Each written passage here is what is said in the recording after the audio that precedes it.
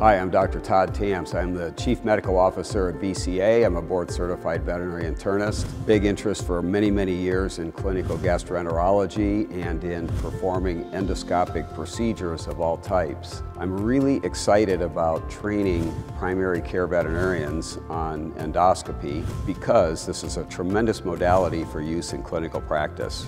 Veterinarians see so many GI cases out there and a lot of times even with baseline testing and imaging and we don't have a definitive answer. So sometimes it comes down to doing a procedure like endoscopy to take a look inside, obtain biopsies, and really help make a more accurate determination of what is ailing the patient so that we can then establish the best possible treatment plan. So what will you get to do here? You're going to get to do endoscopy, a number of procedures on dogs as well as cats. And we teach you the basics, how to properly hold an endoscope, how to maneuver through the various areas of the GI tract. We do colonoscopy, we do upper GI endoscopy on cats, we do foreign body retrieval exercises, and this course is aimed to be a very enjoyable experience for everyone, but the key point is it gives you the amount of time you need to really get well versed. Our goal is to help you reach yours, to be able to confidently get answers on difficult problems that you encounter with your patients. I hope you'll think about joining, coming to one of the courses. It'll be a lot of fun and I promise you, you can take a lot of information back to your practice.